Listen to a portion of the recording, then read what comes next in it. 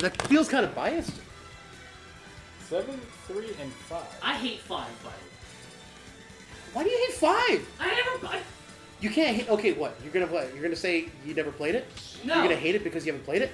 No, some fuckhead I was friends with named Andrew fucking Noggle Oh, I thought you were talking. To, I thought you were gonna say me. And I was gonna be like, stole my fucking copy of Pokemon Black with my special event Victini, level 100 Lucario I've had for five years at that point. I still my have level my 100 Flygon I brought over from Emerald, and my goddamn level 100 Rayquaza I imported from Emerald as well.